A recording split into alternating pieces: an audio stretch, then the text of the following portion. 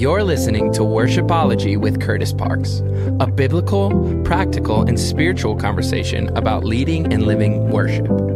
This episode is brought to you by WAVS. WAVS Custom IEMs makes affordable, custom fitted in ear monitors using high end, balanced armature drivers.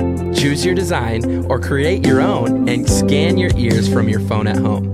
Go to wavscustom.com, that is W A V S C U S T O M.com, and use the code Worshipology for a special discount today. Now, lean in and enjoy today's episode. Well, hey, thanks so much for listening to the Worshipology podcast. This is a conversation that's biblical, practical, and spiritual. It's all about living and leading worship. And today, uh, man, I think I met Brett. We, we met like when I first moved to Nashville in 2017, right? Yep. Yeah, we, we, I think we got some coffee. We've written together. We actually did a camp together, um, and you brought out the coolest crew of guys. Do you remember that? Oh, I absolutely remember that. we, we ate a lot of good food, though. That was good. We ate good food, and we still share uh, some videos from that time. Oh snap! Watch out, Brett. Brett, we got Brett Perkins. Brett Perkins is the uh, worship pastor at the Journey Church at uh, Lebanon, Tennessee, just outside of Nashville. Brett, dude, say what's up to Worshipology, man. What's up, everybody? Uh, yes, I'm Brett Perkins, and I'm a worship pastor outside of Nashville in Lebanon, Tennessee, at the Journey Church. It, it almost sounds like you're, you're making a confessional. Like my name is Brett. I am a worship. I'm trying to trying to get it all. I'm a husband. I'm a dad. I have four kids, all boys, all Love under it. the age of eight. So somebody Snap. pray for me, as Oh my gosh, as uh, one artist would say. dude, that's a lot, man. That's a lot. Well, I love I love seeing you on Instagram, man, because you are a true family man. You can tell you love your your wife and your kids, and that's awesome to see. Yeah. And uh, man, we've been friends for a little while now. It's so exciting to get you on the podcast, bro. Just for our listeners, man, why don't you just share a little bit of your story? Like, how did you get started in in music, and, and now as a worship pastor? Um, I know you guys are writing songs and releasing projects. It's amazing. We're going to get into all that. But dude, how did you get your start in this whole thing, Brett? Yeah, I'll try to be as condensed as possible. I was 15 when I first uh, sensed a call to be a worship leader. I was at a Wow. I was at a conference. There was this pastor that walked out onto the stage. He was about to preach, and his prayer was, "Your will, nothing else, nothing more, nothing less." That was it. Wow, that's so and good. then he went into his his message, and I just remember writing that down in my little notebook and time stamped it uh, because I knew that that wasn't the prayer of my own life. There were more people at this event than were in my hometown. I was I grew up in a really small town in West Tennessee, Greenfield, Tennessee. We had 2,300 people, four square miles, a red light, and a Sonic. That's what we that's what we grew up with. Uh, and At least so you had a Sonic. we we had a Sonic. We now have a we have a McDonald's now, which is great. But that's awesome. uh, there was no reason for me to really believe that uh, God was calling me to anything like this, just because in Mm. in West Tennessee, like your worship leaders were not even bivocational. They weren't even they were volunteers at churches. So for me to think Yeah. about like a life of doing this, I just didn't know really what that looked like. Um, but I sensed a call then, as if the Lord was saying, like, you're going to do this one day. And um, on my way home from that event, my student pastor, I hadn't shared that with anybody, and my student pastor came up and was like, "Hey, I want to start building a, a youth worship team. Uh, would you be interested?" Because he knew I was a closet guitar player. I, I didn't. I didn't really talk about it. Um, And so he asked me, it freaked me out. I said no. Uh, so I ran from it, and uh, it took me about four to six months to to get around to playing, and then I finally said yes. And pretty quickly after I said yes, he resigned, and so Oh wow, I became the worship leader for the student ministry at age sixteen. wow. And so it all kind of fell in my lap at that point, and I ran from it for a little bit. Like I, I ended up going. I, I I was consistent with my student ministry, but then when I got to college, I wanted to be a baseball player, so I I became a baseball player in college. wow, wow. Um, and when I got there, I was pretty miserable because I knew I was running from what God had called me to. Mm. So one weekend I went home uh, just miserable. And I found a stack of books, and in that stack of books was a journal. I opened up the journal at age 18, and I saw my 15 year old handwriting Wow. that said, Your will, nothing else, nothing more, nothing less. And it was Mm. that day that I turned the page and was like, Okay, I don't know what this looks like, but Lord, wow. may your will be done. And so I, I quit baseball, pursued worship in the church, and I haven't really looked back since. I was I was 18 then. So that's what got me into music, church, worship. Uh, writing kind of was a part of that journey as well. I just wanted Yeah. to write scripture to learn it. Uh, honestly, just just as a way of memorization. Um, but then over time, I got inspired just to write for the church, and uh, Mm. So fast forward to today, we're writing songs for the church in my local church here in Lebanon. That's amazing. Dude, talk to me a little bit about the culture at Journey Church because um, it seems like it's a, a little bit newer in the scope of things as a church plant, and it's just uh, really blown up, and people are connecting with it. And talk to us, like, how, how did the church start? How did you get involved with Journey Church? And what's the culture like that makes Journey Church so unique? Yeah, uh, man, I I could talk the rest of the time about this. so that's a that's a love it, loaded question. I love my Yeah. church so much. Um, our Mm. pastor Eric Reed, he started it just in a home um, 18 years ago, and it was out of this conviction for. I I think he was he was a uh, leading young adults at the time, Mhm. and it was just out of this conviction for biblical uh, literacy, biblical community, um, back to the Bible. Wow. Let's get back to the Bible. Let's Yeah. teach people how to uh, understand Scripture in the midst of their circumstances, good or bad. Um, Mm. How is how is God still good in in difficult seasons? How is God still better in great seasons? You know, like Mm. how how do we pursue Jesus through all? We just believe that Jesus, uh, every life would be better if Jesus were the center, and we believe that uh, the local church is the hope of the world when Jesus is the center. So how do we build a culture around that? And so Wow. now, 18 years later, um, I'm here. I've been here for eight and a half years. Eric and I actually met on the road uh, at a fuge camp down in uh, Florida. We did a camp Wow. together. I was in Mhm. a season of just needing a leader in my life, and uh, they happened to uh, just part ways with their worship leader at the time.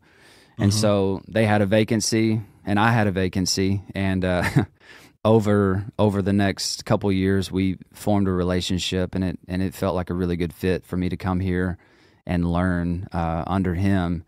And um, so yeah, we've been we've been doing this together. Our staff has grown a ton. We've got an incredible staff. The culture here is very much uh, just uh, it's gospel centered. It's great commission, ambition. It's pompous free realness. Um, Love it. We this is we we talk about this internally. This is where big dealness comes to die. we we just we so good. we celebrate, we collaborate. Um, you know, we we don't compete. If we're competing, we're trying to outdo one another in, um, Mm. you know, in in serving, not in uh, what what's seen in the sense of uh, notoriety sake. And so, wow. um, Which is a big deal because people may not realize like Lebanon is literally just outside of Nashville. It like You guys are adjacent to Music City. we we so that's why it's so huge. Yeah, and we also we just found out uh, it was like a month ago or something. This study came out. I think Lebanon's like the twelfth fastest growing city in America. Wow. That doesn't So, surprise me. Yeah. We have a lot of transplants, a lot of people from California, um, a lot of Mm-hmm. a lot of political refugees come out here. Uh, I'm. Wow. That's that's a political statement. Sorry. we're, we're too close. We're, We're- too close to the election, man. yeah. Um, we, uh, but yeah, there's a lot of people who come out here, um, and they're they're moving here, you know, just for for one thing or another. Right, Um, right. And Which so much opportunity just It- to reach people where they're at. yeah, it's a lot of opportunity, and the church is growing and people have asked like what are you doing and honestly man we're we're literally just reading scripture i think there's such a hunger Wow. for truth today and um Mm. you know you i think some believe that the golden ticket is um maybe gimmicks or maybe you you have something cool to offer or you know gospel plus whatever but Mhm. man people just want to know what the truth is and Wow. at, at least around here and so yeah. we're trying to address cultural issues. We want to be able to equip our people in a culture of lies. We want we want our people to be equipped to fight the culture with the truth of the gospel. Dude, that's so And, good. Uh, now talk to me. How, how does that inspire the way that you guys write? Are you guys, you know, taking basically sermon notes and just turning it into lyric fuel? Are you guys like matching up on the scripture points, like when you're doing a project? And I would imagine hold the line. I mean, that's a pretty bold statement, even in the title. Yeah. Like maybe talk a little bit about the the message behind that song, but just in general, like how do you guys approach songwriting with that heart to teach the truth? Yeah, I think hold the line is a good example. I mean, we've told people that hold the line is kind of it's the it's really like our mission statement as a band and as a church. I mean, Eric Wow. uh, a few years ago wrote wrote a book called Hold the Line, where it was addressing that issue, um, Mm. fighting the lies of the culture with the truth of the gospel, holding the line uh, amidst resistance, really to the gospel, and um, so it's kind of a military type term. Um, but yeah, we uh, we'll take notes during sermon notes. I, I get Eric's manuscript every Wednesday. Uh, typically on good weeks, we I get it on Wednesdays. Yeah. Uh, but I have I have a backlog of all of his messages, and if there's ever anything that like just stands out, Mm. then we'll we'll kind of note that. Um, and then even Eric has has been very open to writing with us as well. So, like cool. within a writing culture, some people have asked like, what what do you think is something that we could do differently uh, to maybe guard the theology of our songs? And I would say include your pastor. And Wow. I that's such a uh, it- it's funny how Yeah. many people are like, "Oh, dude, I can't. He's so not creative," or like, "I'm not going to do that." But here's what happened, man. I started. I actually that was one of the markers at the very beginning of our writing. We we sensed in 2020, just to give you like a an idea of where Journey Worship Co was conceived and why. Yeah. Um, in 2020, I'd been traveling by myself uh, or as myself for about 10 years, and I'd been really wanting to merge what I was doing on the road with uh, the church. Mm. And when 2020 happened, everything shut down. Um, and it gave us a really good time to just assess what are we doing? What what kind of resources are we are resourcing our people? How are we equipping them in the Yeah. in the you know state of the world right now? And I sent I saw this like unfortunate trend. I noted it. I, I I don't know if anyone else. I mean, I'm sure there have been others, but it Yep. for me for me this trend of worship where songs that were resourcing the church um, were sacrificing content at the altar of creativity Wow. generally. So you had these really creative songs that the label would then get behind and put into the inbox of worship leaders across the country. And then worship leaders were just devouring it because they were like, oh, well, if the label sends it to me, this must be hot. Wow. And so they do it. And you, sent, you see this reality that churches don't have a hunger problem, they have an appetite problem. Dude. So they're they're eating whatever's in front of them. They Wow. needed their appetites to be shaped towards something different. Mm. And so we just that's where we started like really feeling the conviction of okay, if we're going to if we're going to do this to meet a need, we see a need. And even if nobody else sings these songs, our people Wow. will be served by it. So that's when we started writing and all of those convictions led to then the the process of like okay what are what are sermons that are coming what are sermons that have been um, preached recently um, Eric says this. He's our our pastor, Eric Reed. He says this a lot. Um, I don't think it's unique to him, but I'm going to give him credit. I think after you, if you use it once, you give it somebody else. You use it a second time, you forget, and then the third time it's yours. And I've heard him I say it more than three that, times, yep. so it's his at this point. Um, That's good. And he said, uh, he said, songs are just sermons that people remember, and uh, that's coming from the pastor, you know. So, um, Yeah. so how do we how do we take songs? How do we take sermons that connected to us and make them memorable? Well, you put a melody to them. That's it. And so uh, we take sermons, we take scriptures, catechisms, creeds. We pull pastors into the room to give us guardrails on like making sure that it's uh, truthful and clear and accurate to scripture. And then we have our we have our creatives come around and make it into a song. And the coolest thing has been how our my team has been discipled directly by all the pastors that have been involved because they're sitting in a room with a pastor for three hours just So trying good. to articulate the word of God better. So Mm. it makes the songs richer. It makes the team stronger. Um, it it give it edifies the body because it gives them a song that is a sermon that they can then remember and recite throughout the week because it's connected to a melody.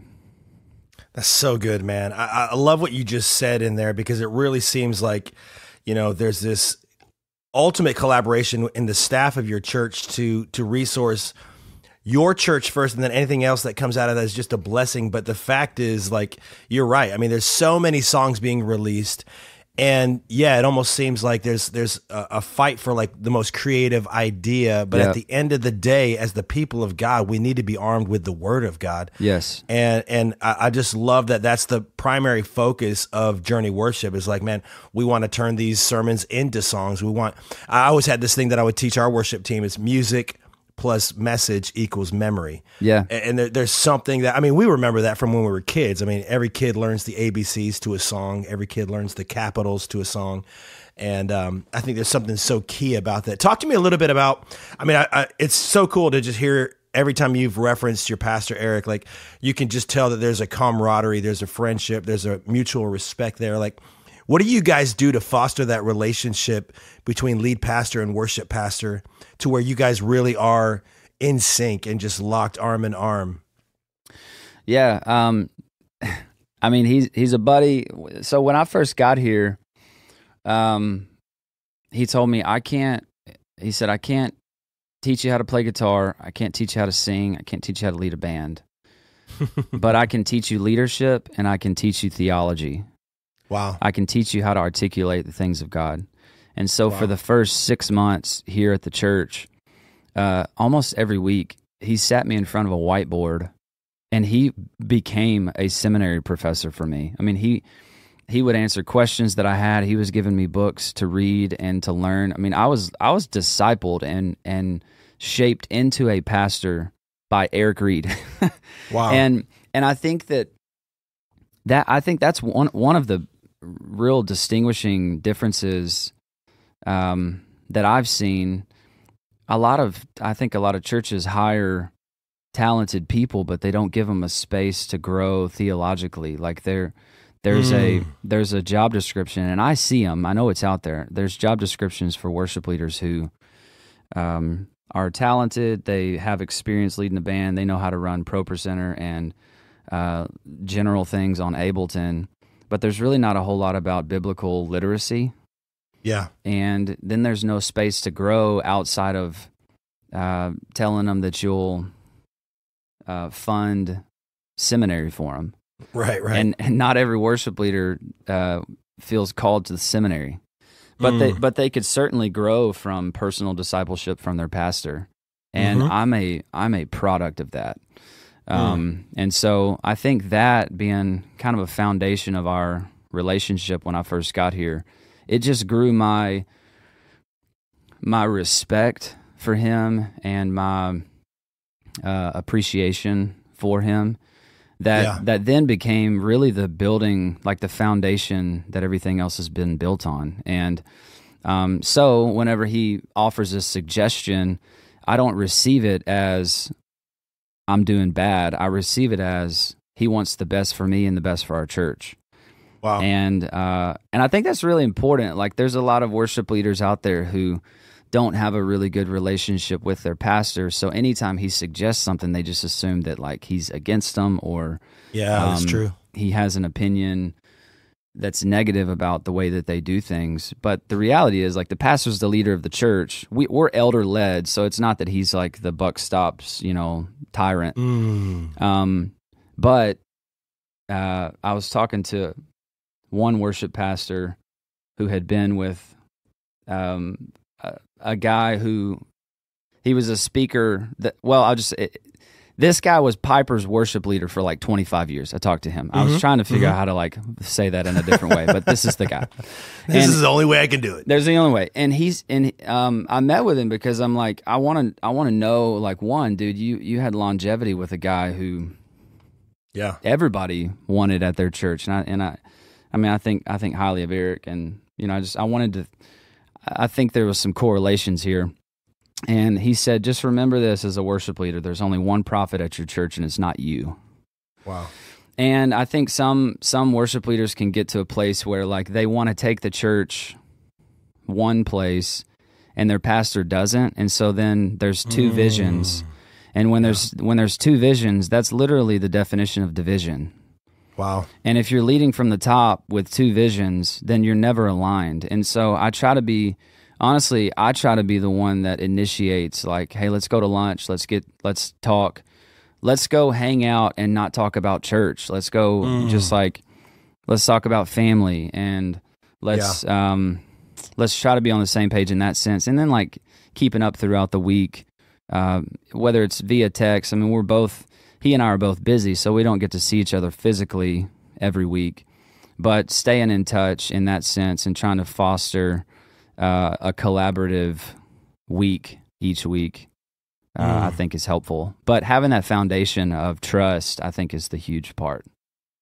That is key, man, because I mean, and you you hit it on the head and and truth be told, I think all of us at some point have kind of probably whenever we hear not criticism but really constructive feedback in order to build us up we we take it as an attack and it's like we go into the defense mode of like Yeah. well man they just didn't appreciate all i'm bringing to the table. But I, I realized something years ago brett is that you know a lead pastor is like it's really that chief cultural engineer right? It's like th- th- they're shepherds of the culture of a church. And you know they were mo- most lead pastors were there before the worship pastor got there you know what i'm saying? Yeah.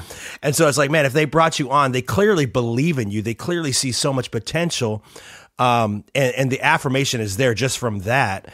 But to be in a learning posture of like man, i want to lead this church in the way that god is really like brought leadership into this church. Like i want to if, if there's leadership i want to follow and i want to be in sync with that i want to steward the move that i've been given charge over but it's really under the leadership of the lead pastor and i think it's so key that if you can build that trust and if you can find that trust and cultivate that like by going out of your way like hey let's go grab lunch let's go grab coffee and just be in the same room Yeah. um you know because like i heard a phrase a long time ago that distance demonizes and so yeah. You know if you're not hanging out if you're not getting in the same spaces in the same room if you're not building relationship it's so easy to make up your own narrative. And oftentimes if the enemy creeps in or anything gets in our head it's like man you know so and so's not for me or so and so hasn't said man worship was was incredible this morning and you really start to make it about yourself Yeah.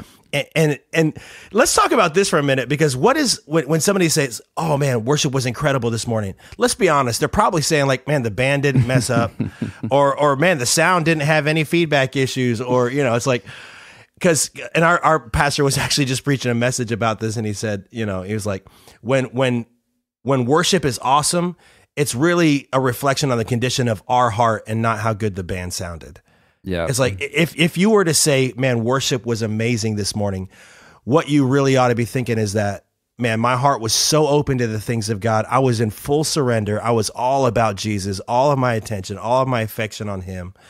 Um, what do you, as worship leaders? How do we cultivate that atmosphere where it does become less about us and more about people experiencing the goodness of God? I mean, obviously, like excellence plays a part of that, but is there is there more to it, Brett? Yeah, I that's such an interesting comment to receive um, because I I I mean I kind of know what they mean, but I never Yeah. really know what they mean, and Right. so because of that, I just I try to I try to just believe like they mean it as a compliment. They don't know how to say it, and so I'll Mm. just say thank you and I'll I'll move on. Yeah, But. I don't but I don't linger on it. Like I don't. Mm. Man, I think sometimes compliments can linger, and if compliments linger, then so can critiques. Wow. And you just gotta, you gotta receive. You know, uh, especially uh, working at a church. Like, if there's a compliment, you better believe somebody else has an opinion that's gonna contradict that compliment about five Wow. minutes later. and so You're right. so I think I think as far as like cultivating uh, a culture of worship, it has to start internally, Yeah. and your Yeah. leader your leader really determines the culture. Like, Mm. um, if if you're if someone's listening who's a new uh, worship leader at a church, maybe you're not leading in the culture that you created yet. But in three years, I've always heard it takes about three years to create a culture. After Yep. about three years, you're living in the culture you created, whether Wow. you like it or not. Good or bad, exactly. Good or bad. You look around, you've either enabled it or you've led it to become that intentionally. Wow. And um and I think it has to start internally. So like having a value system of who you are and who you who you want your church to be. Um Mm. something I pray often is God, would you make me a more accurate representative of your word Mm. so that we collectively as a church will become more accurate responders to it Wow. um, which That's means Brett. which means I have to go to the scriptures daily and be moved by the scriptures and be committed to then share what moves me That's good. as a worship pastor. And I think, but but I have to have a high view of what my role is too. Like I I actually Mm. I I don't like when churches uh don't establish a worship pastor because I think it is a pastoral position and when you don't when it's not functioning as a pastoral position then I think that you're undercutting what actually is happening in the room. Wow. Um, you, but but in you know if, if you were to call it a pastoral position and just operate in that sense, there's a there's an empowerment that comes with that, Mm-hmm. and a new lens in which the leader is thinking through. Like I'm Mm. fostering a I'm facilitating, I guess, um, an interaction with the people of God and the truth of God. That's what we're doing Yeah. as worship leaders. Yeah. Um, and so as far as like cultivating the culture of response, I think it has to start internally, and then you've got to figure out how to codify that with your team, and continue to find ways uh, to disciple your team, even if it's just Sunday mornings before service. Just like dig through the scriptures and find something, find a nugget, just to Yeah. remind your people, and take five or 10 minutes to open the word with your own team, something that's Mm. unique to them, and say, This is a reality that you have in Christ. Wow. Go and be believable today. Mm. Just simple, simple stuff like that. Or just reminders of, like, man, what we're sharing today has been shared since Isaiah. yeah. and, Yeah. and it has worked since then. So Wow. we can have faith to believe that it'll work today too. wow. Um, and when I mean, I think I think some of the best compliments that we get that I receive as a leader is it just looks like you guys have so much fun together. Like y'all just That's- look that's like good, yeah. you guys just look like you enjoy being around one another. And I love it so much Mm. because when I first got here, no one liked anybody, I don't think. I, it was Wait, we're all. Christians, It- right? It, was tough, man. Like it was a Yeah. hard culture, and uh, Yeah. there was a lot of growth that needed to happen in my heart, and then around the team. I don't know why. I remember talking to you right around that time yeah, because yeah, I think around- we met like 2016, 2017. and that was that was when it all kind of went down, and I was just Wow. like, I mean, I legitimately wasn't sure how long I was going to be here because how, of how difficult the culture was, and Wow. Um, but it required it required some humility on my end to pursue people who weren't giving me a shot and I needed to take them to lunch and give them a chance to like me, and I needed to give myself a chance to like them too. Wow. so, um, so like there Bro, was there, a, there's so much wisdom in what you just said, though. Like, because I think we do live in a day and age where, hey, when it gets rough, I'm out of here. yeah, And the fact that you've got that stick to itiveness to to see past your current frustration and realize maybe God's growing me and growing them, and, and now you guys are thriving in that environment, man. yeah. I mean, that just says a lot to your leadership. Well, I think there's a persistence that's required uh, Yeah. for leaders. If you want, uh, I think it's uh, who is it that says this? I don't remember exactly who says this, but if if you want to if you want people to like you, then go sell ice cream. Don't be a leader. but but in the church, you're leading people, and you're and as a worship leader, you're dealing with creatives, so they're already Yeah. a little bit emotional and unstable. Yeah, you're right. and every idea is uh, is a vulnerable idea that's connected to a soul because it's their creative lane of offering, you know. And so Yeah. you got to know how to navigate things, um, and just like I think there's just a persistence that's required.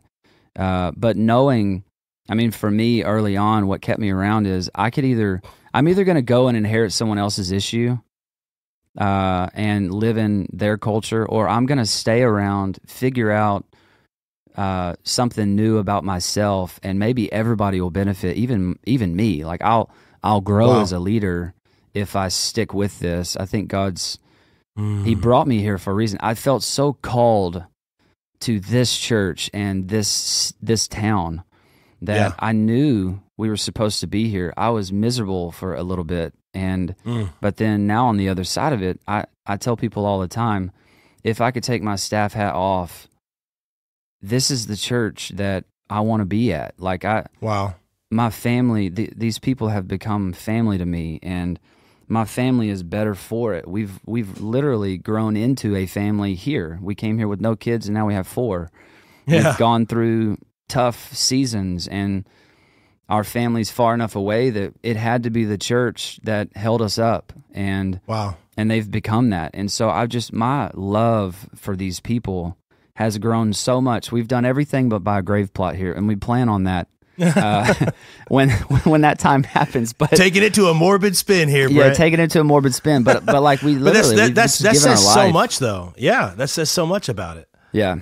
So That's incredible, dude. Talk to me a little bit about like you know you said all four of your boys born since you guys have been a part of Journey Church, and that's just a beautiful story of like literally you're raising your kids there. Like I remember somebody once saying like, "Man, let's make this the church that we want our kids to raise their kids in." yeah, and, and there's just something about that longevity, that faithfulness that's so kingdom. I mean, it really is Yeah. all about the kingdom of God. It's that that long. I mean, uh, it was Charlie Hall in this last uh, podcast. He was saying God loves to tell long stories, and and that just stuck with me because it's like we live in a day and age where it's like, man, we're show we're we're we're short sighted, uh, we're short minded, our attention spans are, are small, and I think that's played a little bit of a part into this willingness to jump ship when things get tough. yeah. And how do you kind of make that resolve of like, you know what, when things get rough, this is where I'm going. This is what I'm doing to make sure that I don't jump ship. Is there is there like a, a scripture you go to? Is there a, you know, return to your first love kind of thing that you go to? Or is it just reminding yourself what you wrote in that journal when you were a teenager? Yeah, I mean, I think it's. I haven't. I don't know. I hadn't really thought about that. Um, Hmm. Man, when when things get hard, it's the first question is, okay, God, what are you doing? Yeah, that's good. And I think that's important because, like, I think He's sovereign over all things. I think He's sovereign over Mm. good and bad, Mm. and I think that He does unique things in the midst of suffering that He won't do outside of suffering. Wow. Like in the strange kindness of God, He ordains suffering so that we might know His grace in a different way, that we wouldn't know it in that particular way had that suffering not happened. wow. And uh, and I'm that's a specific statement connected to a specific season of mine and Megan's life. We had two miscarriages in seven month time frame Mm. between uh, our third and our fourth kid, and that was a that was a tricky season uh, for us. But I mean, I I think whether it's that or whether it's like team dysfunction and God teaching me that uh, in the midst of that, Jesus knew that Judas was betraying him, yet he washed his feet Yeah. uh, you know, like there's, I think, I think sometimes we can be so nearsighted that we we admire our own faith uh, to a detrimental degree. Like God, I I can't believe that you would allow this to happen because I've been so faithful. Mm. But maybe maybe your your season has nothing to do with you. Maybe it has everything to do with what God's doing in you. Wow. Um, maybe maybe it's that God's teaching you something new, and Mhm. uh, and then that will impact generations. You know, like I, I just I think Yeah. Yeah. so so I think um my belief in the sovereignty of God over all things really then leads me to okay God, I don't know what you're doing.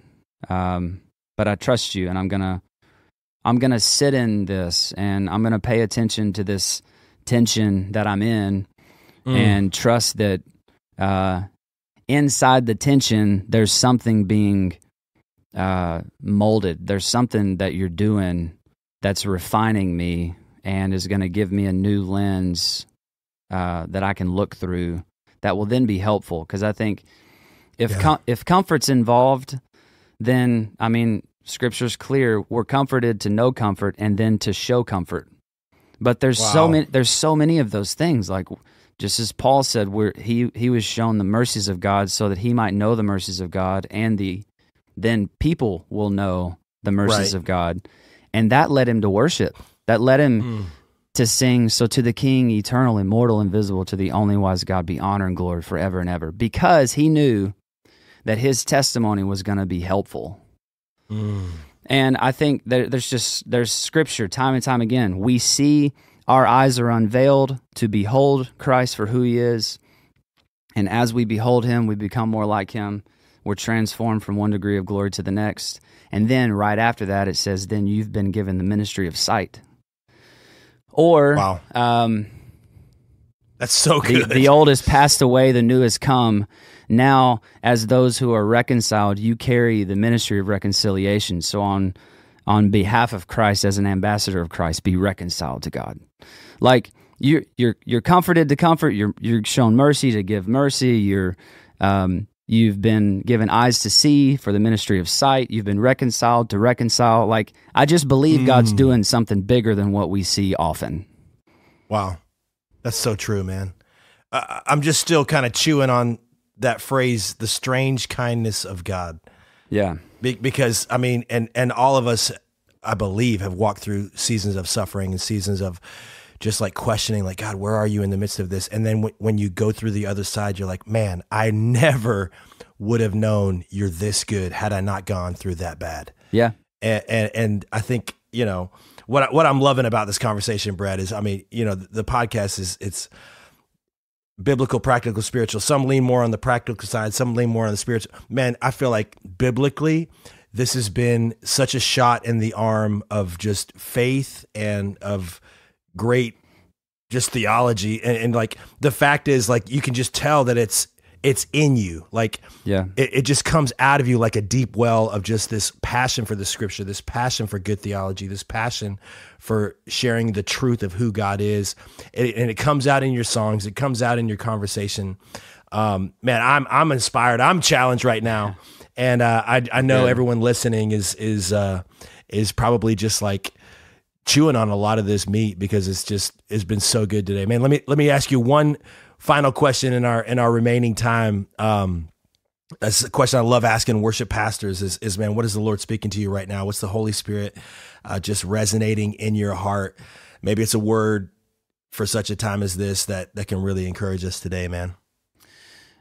Yeah, I, I think I mean something I've shared with a lot of people lately is I just I believe more and more now the more I read scripture, the more I lead, the more I'm in different rooms, that our role as worship leaders, my role as a worship leader, is to be moved by the scriptures and then share what moves me.